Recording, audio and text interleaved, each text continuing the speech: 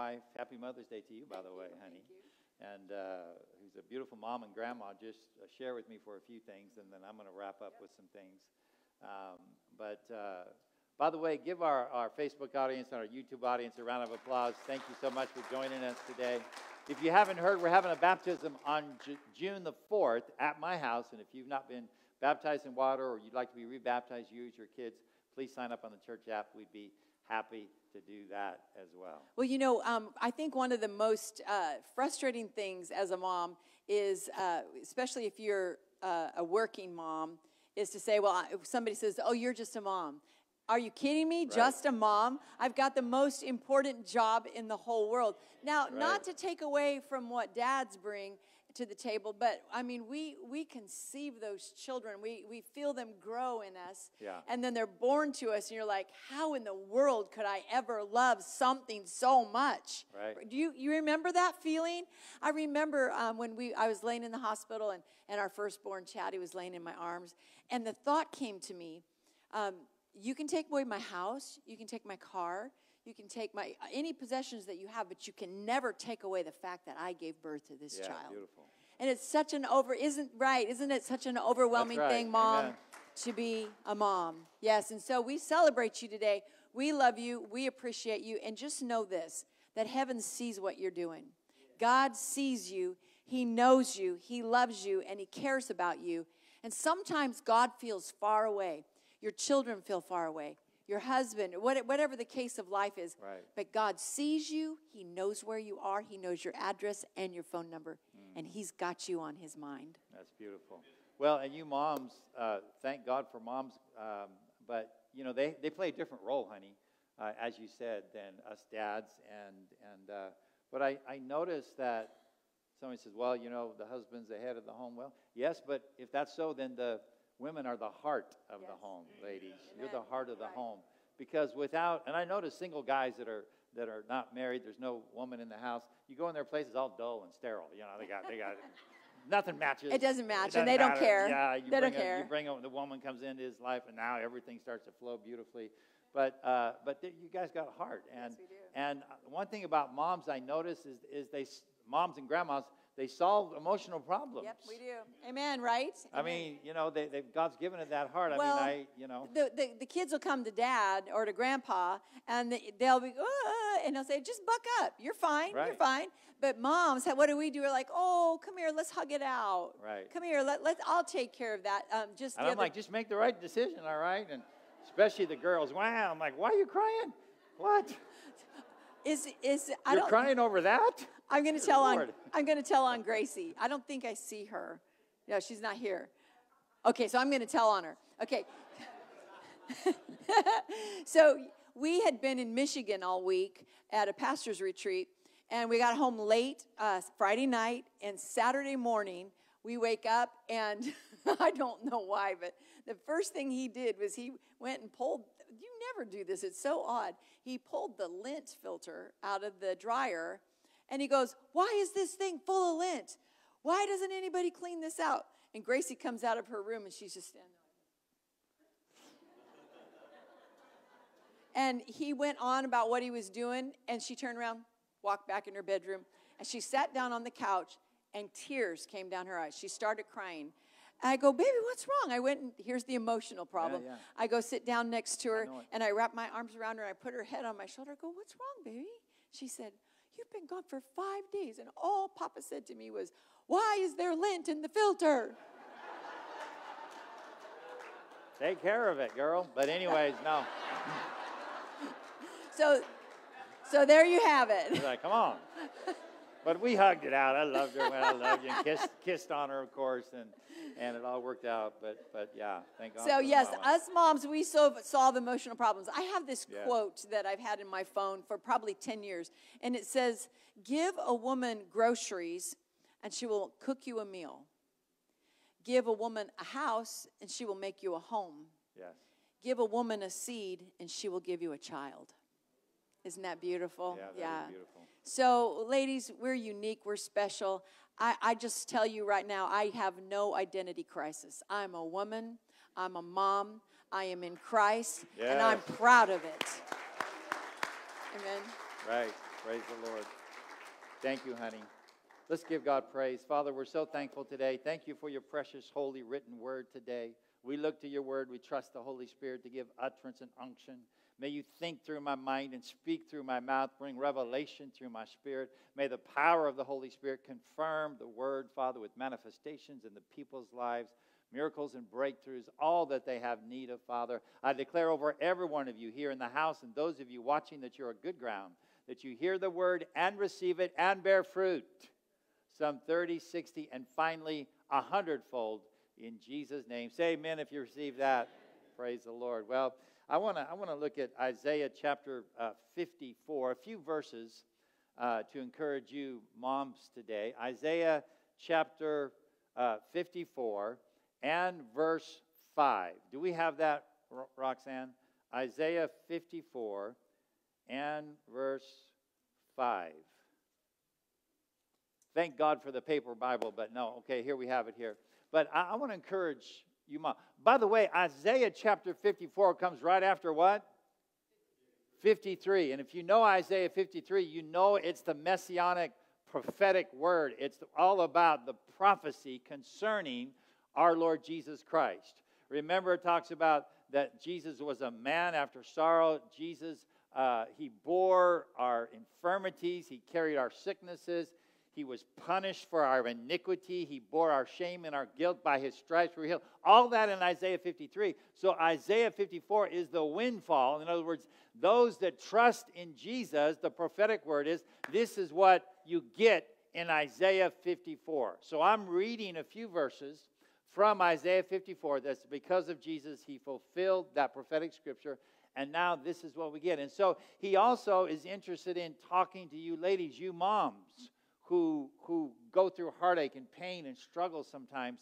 And notice, it, notice here it says, For your maker is your husband. It's talking about you ladies, or maybe you've gone through a painful divorce, or maybe you've lost your, your husband, you're a widow. Did you know that God will be your husband until the right person comes along? Ladies? Wow. I mean, how are you going to get a better husband than the father, right? So God says, hey, for your maker is your husband. In other words, God's saying, I'm going to take care of you moms, right? And, and I, I'll be a husband to you, says the Lord of hosts. By the way, that word host means angels. In other words, he's a God of multitude of angels, ladies. And so not only does God say, I'm going to take care of you, but I got all my angels at, at your dispatch that are going to move and work on your behalf. And so, ladies, maybe you're believing God for a husband, or, or maybe you, you, you're a mom, but you don't have a husband for whatever reason. God said He's going to take care of you. You might like it so much they never mind a man. I'm going to stick with God. But uh, uh, so please know that. And your Redeemer is, is the God of Israel, the God of all the earth. So that's the fifth verse. Now drop down, drop down to verse number 13, the same Isaiah 54. This is still our windfall. And God says to all you moms and, and all of us, our dads, He says, and your children. How many of you have children? Just, just lift up your hand. Right. How many of you have grandchildren? Great grandchildren. I know Amy and Kay, a few. Wow. Okay, great grandchildren out there too. Dare I go one more? Let's not go there, all right? But all your children, God says, shall be taught what? By the Lord. What a beautiful promise. And great shall be the peace of your children. Some of you ladies just need to take that right now and just say, I receive that into my spirit, that, that, that my children shall be taught of God. See, it looks like they're running amok, some of them, and some of my grandchildren, of course, Pay no attention to that. Just make your declaration all my children shall be taught of the Lord. What a beautiful promise, mamas, moms and dads, grandparents, that you can grab a hold of that and say, Yes, and great shall be the peace of my children. Praise the Lord. So be encouraged with that, mama. And then in verse 17, same again, the windfall of Jesus. Many of us know no weapon formed against you shall what? Shall prosper. Right? Now, someone says, I got stuff going on. Well, there might be stuff going on, but it shall not prosper, right? As you trust in the Lord. No weapon. Now, weapons might form, but they shall not prosper. Every tongue that rises against you in judgment, you shall condemn. Praise God. right? And this is the heritage of the servants of the Lord. This is our heritage in Christ, right? No weapon. I don't care if it's coming against your kids, your finances, your marriage, your life. Come on, whatever it is, your business, it shall not prosper. Praise God for any evermore. Why? Because of what Jesus has done. The power of the blood. So somebody needs just to receive that and say amen today. So, uh, you know, Cindy and I, the other day, we were, she was just on her phone going through her Instagram and flipping through. So I was kind of leaning over her shoulder, just kind of looking at all kind of stuff incredible. It's like, wow, it kind of grabs your interest sometimes. It's like three steps to this, three ways that. And, and so I, I was looking at a couple, and one of them was for you ladies, three, we looked at three simple steps for mom to lose wrinkly skin on your legs. And then at grandma, she said, step one, step two, step, I mean, doing all this crazy stuff. That's a crazy, what? Cindy's taking notes, and I'm like, no, no. It's like there's all these three steps to this, and and and, and then we were watching. See, they were watching. There was another one that popped up. Say three tips to to rolling up, how to roll up your jeans, ladies. I mean, just crazy, off the wall stuff. And Cindy says, I got to remember that. So I mean, it was working, but, but and, and then one, mom, and one of them said, Mom, wouldn't it be nice if everything was easy as it was getting fat? Now, I said nothing about that one. I just let that one go by.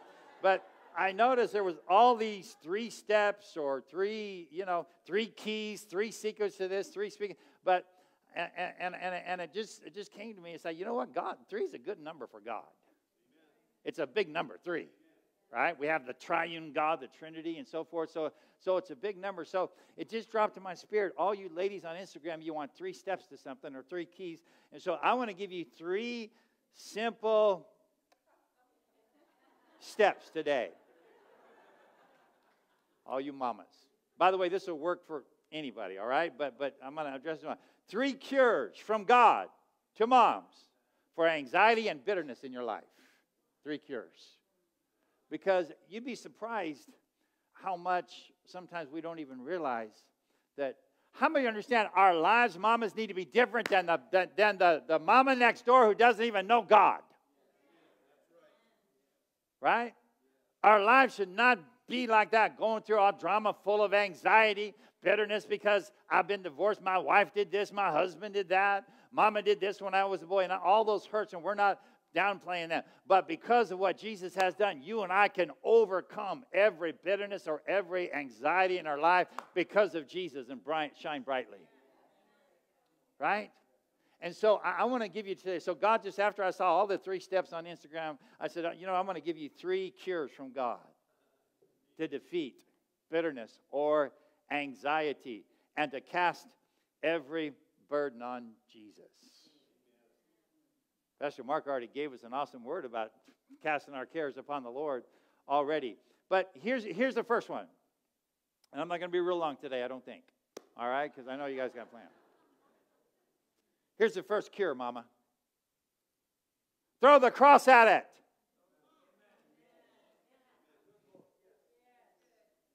I could stay on this one for a long time.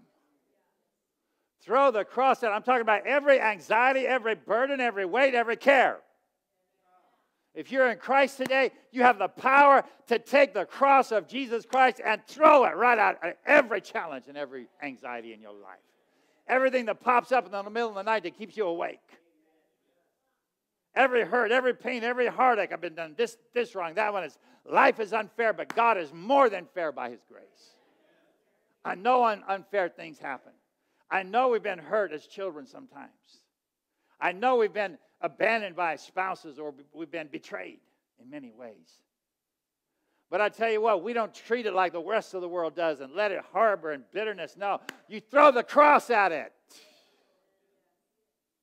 There's a beautiful story we read in the book of Exodus when the children of Israel, remember, they were, God just delivered them from Egypt, 400 years of bondage. And, and God, God delivered them. We can find this story, I believe it's Exodus uh, chapter 15. God delivered all the children of Israel out, of, and split the Red Sea, and they all came out. They were in the wilderness on the way to their promised land, and it had been three days, and, and they were all they hadn't had anything to drink, and they were thirsty. They cried out to, to Moses, and Moses cried out to God. And remember what happened? They came upon upon a, a, a little area of water, and, and it was called Marah. Marah means bitter. And so they saw the water and they said, Wow, finally we get something to drink. But when they taste the water, they realized it was bitter, poisonous. They realized if they drank that poison, they would bring death to them. And, and so it was bitter. And so they're like, Oh no, what are we going to do? And so Moses, what does he do? He sees a tree. I don't know if he cuts it down or he, or, or he just picks it up, but he picks up a tree by the Spirit of God and he goes over to this bitter water and he takes this tree and he just casts it into the bitter water. And the Bible says as soon as he cast that tree into the bitter waters, what happened? The bitter water became what? Sweet, clean, pure, good tasting. Did you know anytime you see a tree in the Bible or a stick or a piece of wood, it's a type and a shadow of the cross? I said it's a picture of Jesus and the power of the cross. In fact, we know from, from 1 Peter 2.24, I think we have that scripture, 1 Peter 2.24, says, He himself bore our sins in his own body, what? On the tree. We, having died to sin, should live in the righteousness by whose stripes we were healed. Jesus hung on a tree and became a curse for us so that every rich blessing would be ours. What he bore, we need not bear. What he took, we need not take.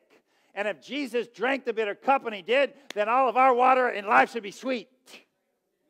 So if bitterness rises up, uh, ugliness rises up, or maybe you're, you're dealing with a, a, a sickness or a relationship that's gone bad or a heartache, whatever is bitter, take the cross of Jesus Christ, the tree, and throw and say, I throw the cross, I throw the blood at that crisis that rebellious child, I declare Jesus. My finances seem cursed and bitter. I declare Jesus my business, my marriage, my child, whatever it is, I throw the cross. And how many of you know the cross will make bitter water sweet in your life? Mm. I said, throw the cross at it with the power of your words and declare Jesus. I tell you, he's a restorer of life. How many you know he's a miracle worker?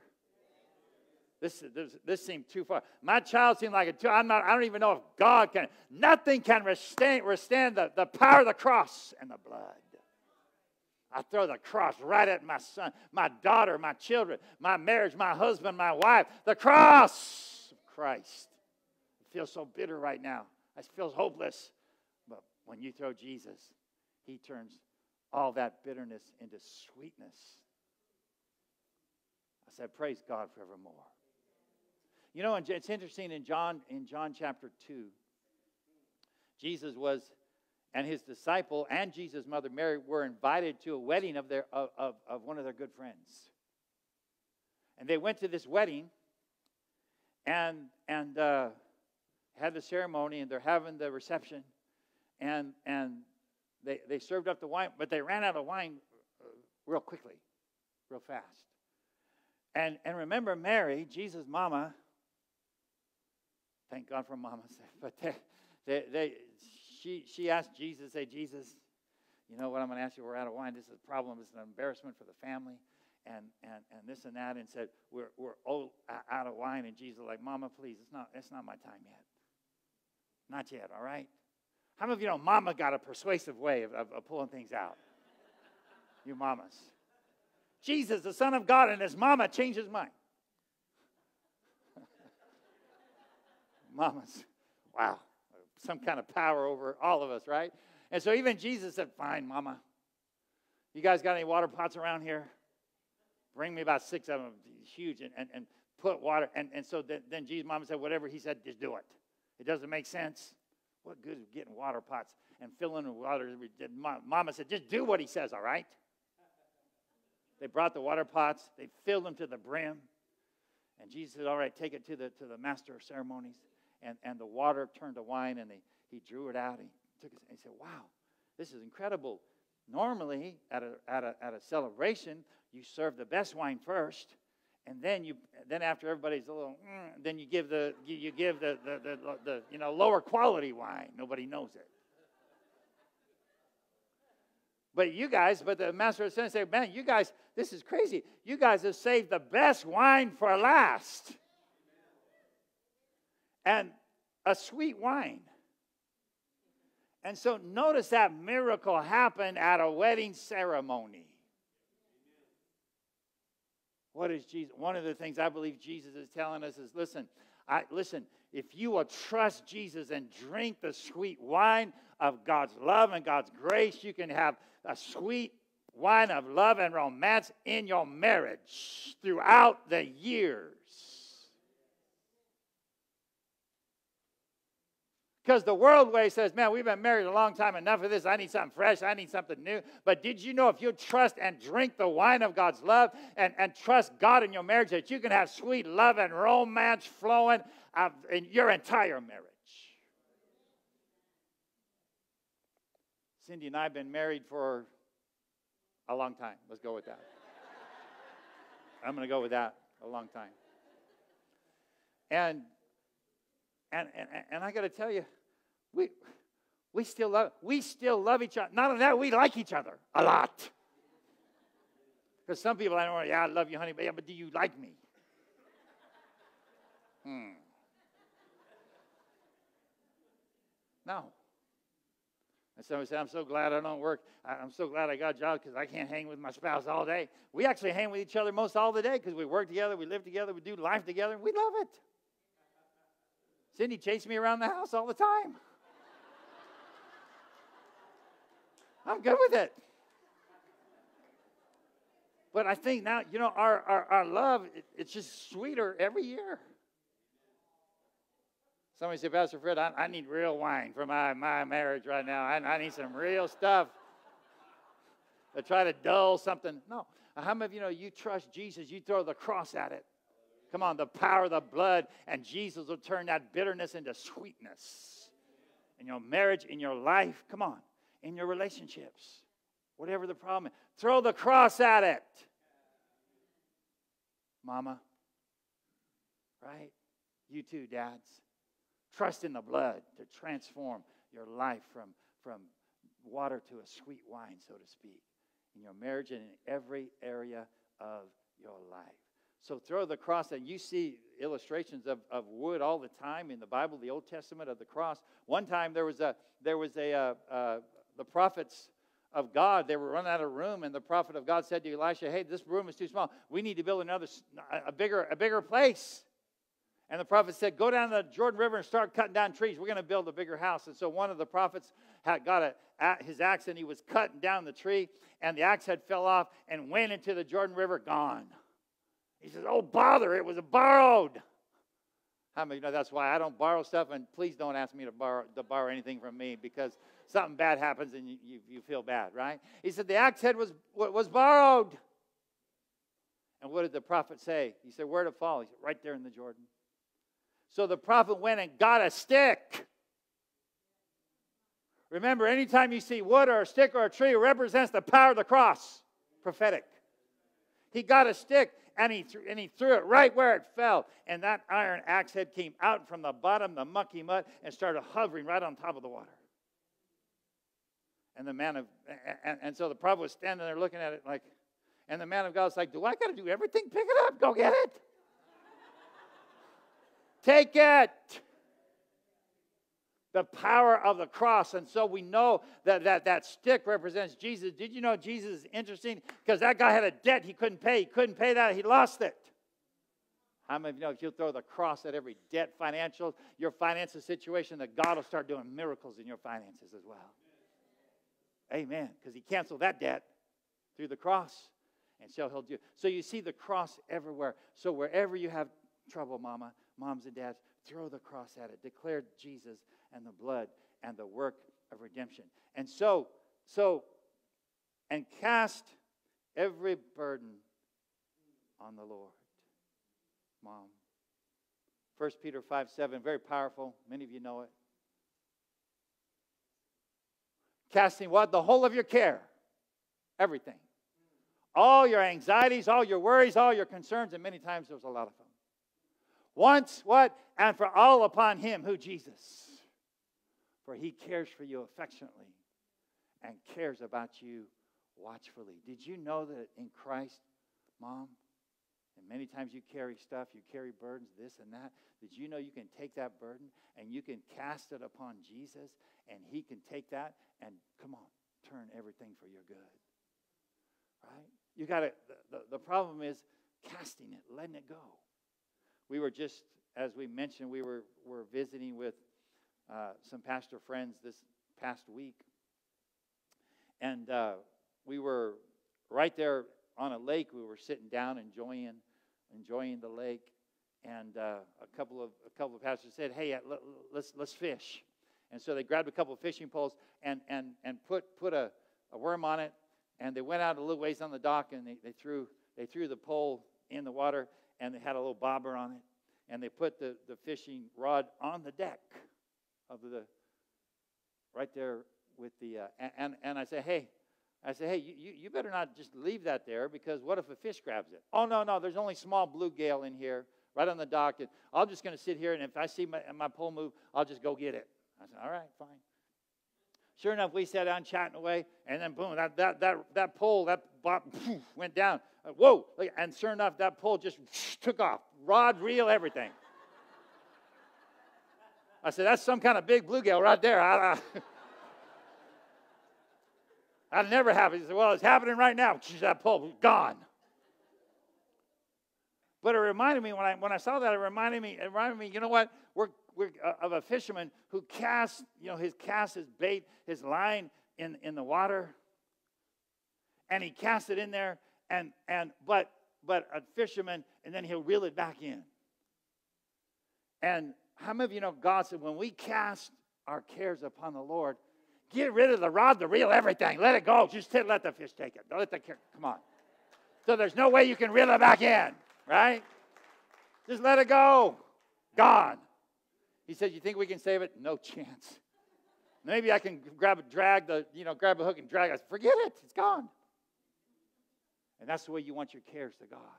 Not cast it upon him and then, oh, by the way, I, I want to take it back. No, and I understand we're all tempted with that. But you say, no, no, no, Lord, I, am not, I'm not going to reel that back in. I, I, leave it upon you because I know you can take care of my children. You can take care of my marriage, my future, my, uh, anything that concerns me. I cast it upon Jesus because he can handle it. You and I know. We're not made for it. If I let anxiety get to me, how many of you know I'm spending a lot of time in the bathroom? It ain't pretty. I'm just, I'm just right? My stomach is, some of you the same way. But no, let it go. Throw the cross at it and cast every care upon Jesus. Come on. How many of you, how many can say he's brought you out plenty of times? He can, so, Mama, number one, we're talking about three cures from God for anxiety, bitterness, and, and throw the cross at it and cast every burden on Jesus. Now, secondly, secondly, ask God for wisdom. I know that's simple, but did you know the Bible says you have not because you ask not? Many times we just fail to ask, we fail to approach Him in faith. It's not that complicated. Ask God for wisdom. Wisdom has to do with the future. Lord, what, what's your plan? How are we going to handle this? And we have a scripture in, in James chapter 1, verse 5, very familiar scripture. Because if any of you lacks wisdom, somebody said, Well, that's me today. I need his wisdom. I need to know which path to take, how to handle stuff. Let him ask of God. Wow. You mean to tell me if I just ask the Father in Jesus' name, I need wisdom how to deal with this situation that God will hear me and answer? Yes. He gives to all what? Liberally, freely. And notice without reproach or finding fault. Because if you're in Christ today, there's no fault in you. There's no reproach in you if you're in Christ. Yeah, but I've got issues. I got problems. We all do. But the blood of Jesus, come on, covers all that. You can approach God with boldness. I need your help. despite all my shortcomings and failures. No, no, no fault. God has no fault finding in God. Notice that he said, and you ask, and, and it what? There's a good possibility if God's in a good mood, he might give it to you. No. He will. It will be given to you. Because God knows your future better than you know the past. Right? And as we said in the word of the Lord at the beginning of this year, that God's going ahead of you into every month of this year. And He's working out every crooked path and making it. He's filling in potholes. He's working. He's moving. He knows what's throughout this whole year. And He's working it all. And now He's come back and said, I've cleared the way for you. All is well. And so, despite things that are going on, say, Lord, we ask for your wisdom concerning my child. I know if you're raising teenagers, they can be challenging. But Lord, I ask for your wisdom, for your help and all these things. And the Bible says he will give it to you. What an advantage we have in Christ. Praise the Lord to have the wisdom of God. I promise you, God is not stressed out.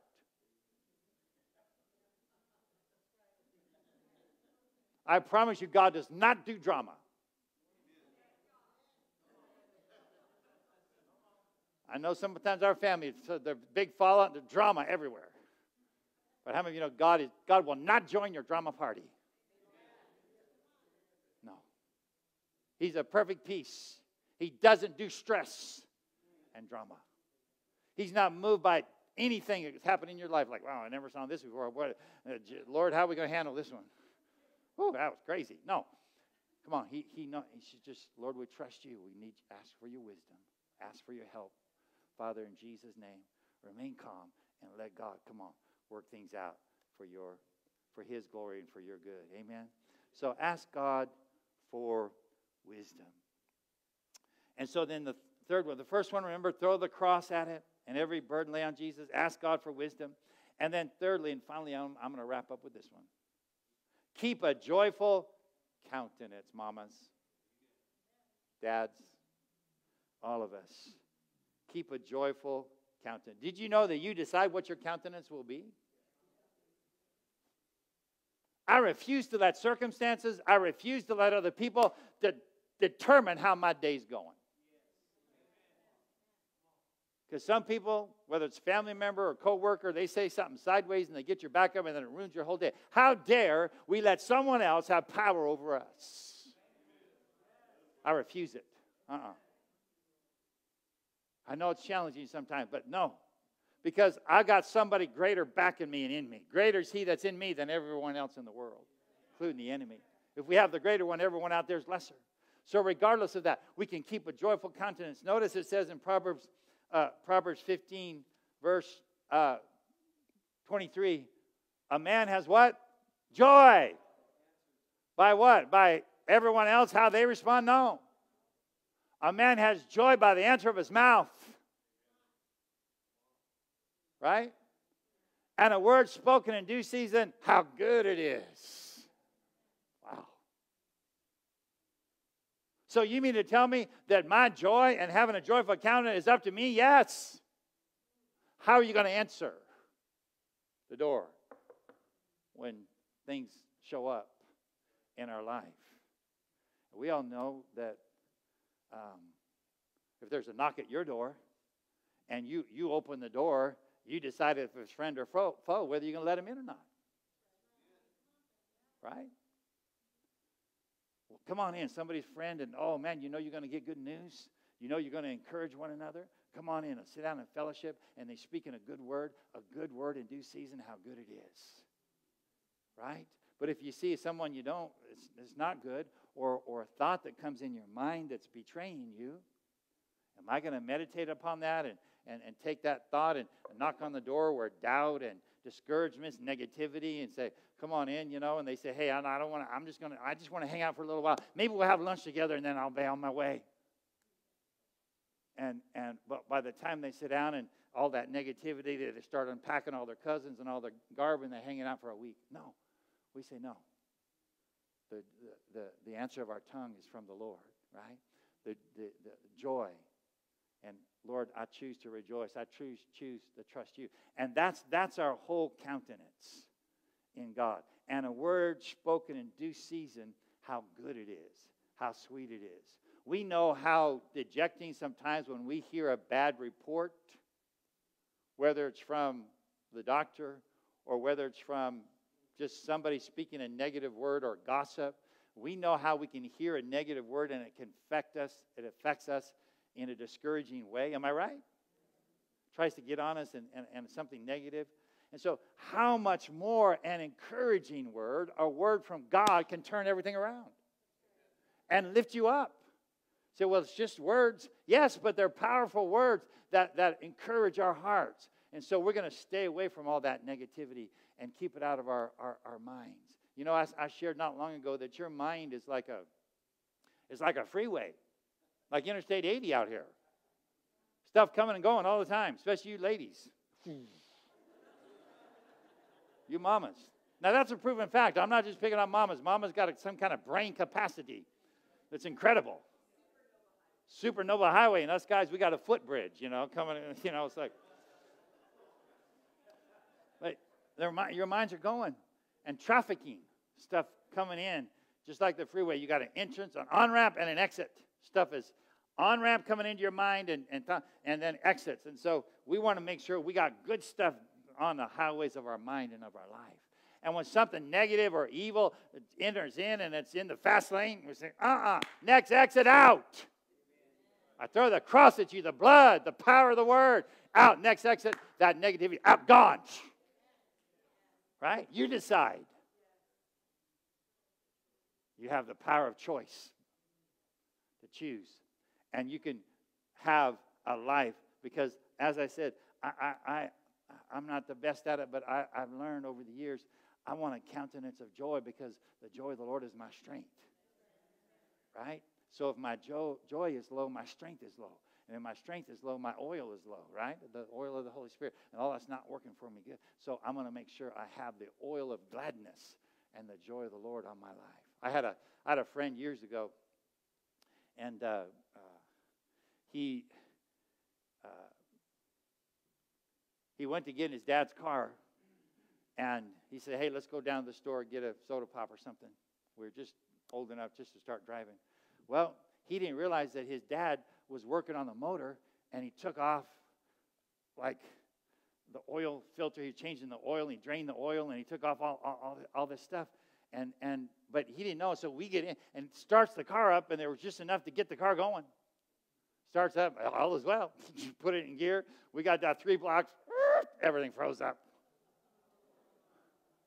What the, what's going on? Then we find out oil everywhere. It's, oh, boy, we're in trouble. But how many of you understand in the same way, the oil of gladness, of joy, is the oil of the Holy Spirit that runs everything smooth. And so if you're, if you're running dry, you're going to seize up in life. Going to lock you up? No. Like government cheese, you know, lock you up. Mama, please, no more of that back in the day. But no oil. So you got to say, you know what, regardless, I'm going to have the oil of joy, the oil of gladness in my life, and I'm going to rejoice and I refuse to let negativity dominate my life. And if you keep rejoicing, that oil keeps pumping, come on, that car will run smooth. And your life, it'll smooth out all those things in your life. Right? So the joy, the countenance of joy, we cannot give up. We cannot sacrifice, but we choose by the words of our mouth and to receive the Lord. How many of you know we got every reason to rejoice? We got every reason to be glad in the Lord. I know we got stuff, but we got every reason to rejoice and have that joyful countenance. Do you receive the word of God today, church? Praise the Lord. Father, thank you so much for your precious, holy, written word today. Father, as we've looked at your word, I pray that your word would go down deep in the heart and the soul and the body of every person here today and those of you watching. Father, may we live a life of victory. May we, we live a life that we're shining for you. Thank you for helping us in all these areas. And help us to shine for you that our, our neighbors, our coworkers, those out there in life, they need Jesus desperately as well. Help us to shine, Father, with a countenance of joy that they'll say, What's different about you? You should be sad, but you have joy instead. And so, Father, may the oil of gladness come upon every one of us and all these beautiful things through Jesus our Lord. And so I thank you for that. I speak over your lives today. I speak the cross over your lives. I speak the cross over your children, your grandchildren. I speak the blood of Jesus over you and your marriages in Jesus' name and over all that you set your hand to do. I speak the blood of Jesus and the stripes over your body for healing to flow into your body. The blood of Jesus over your finances. I throw in a stick, the cross, and that your finances would be blessed in Jesus' name. I thank you, Father, that you mend, you restore, you renew, you revive a freshness upon everyone today. Now, with your heads bowed and your eyes closed here in the house, please don't leave without acknowledging Jesus as the Lord of your life. Those of you watching as well. You say, Pastor Fred, I need Jesus. My life is seized up. I've got nothing. You need a touch from Him. You need a touch from God. Jesus bore every curse, every sin, every burden on the tree. That whoever calls upon Him, the scripture says, they'll be saved, their sins will be forgiven. They'll live the abundant life, not the life of the world, the abundant life to all who trust in Him. So if you feel oppressing in your heart, you feel like maybe your heart beats pumping a little faster that's the Holy Spirit. That's God saying, I love you. I sent Jesus. Won't you call upon him? Maybe you're here in the house and you say, Pastor Fred, I, I just need a fresh start. I need a new beginning in my walk with God. I want to rededicate my heart and my life. I'm tired of doing things my own way. I want a fresh start with God. And I want to bear the fruit. I want to be a light and a testimony. If that's you and your head's bowed and you say, Pastor Fred, I need Jesus, lift up your hand right now. Or I need a fresh start in the Lord. Lift up your hand in, in the house as I look around the church today. I need Jesus, or I need a fresh start from the Lord today. As I'm looking here to my, to my right and coming across. Anyone like that at all? I want a fresh start. I want a new beginning. Thank you. Those of you watching as well, you pray this simple prayer with me as those here in the house. Say this after me. Say, Heavenly Father, Thank you for sending Jesus. I make him the Lord of my life for a fresh start and a new beginning. Thank you, Lord, for saving me and restoring me in Jesus' name. Amen. Amen. Do you receive that today, church? I know you do. Praise the Lord. Well, listen. Thank you so much for coming today. Happy Mother's Day. God bless you all. Thank you for allowing Cindy and I to be your pastors. We don't take it lightly. We, can, we count it a joy to be able to minister the Word of God to you each and every week. All right. Are you ready for the blessing today? Lift up your hands. I'm going to speak this blessing over every single one of you, those of you watching his way as well. As your pastor, may the Lord bless, protect, and prosper you and your loved ones throughout this week. According to Psalm 91 that you dwell under the shadow of the Almighty. And may God give his angels charge concerning you, that no evil, plague, disaster, or calamity comes near your dwelling. And may God place you at the right place at the right time with the right people. And may the sweetness of his love and his grace be a part of every area of your life. And finally, may his shalom, peace, and rest be your constant companion throughout this week. In Jesus' name, Say amen if you receive that. All right, God bless you all. We love you. You are dismissed.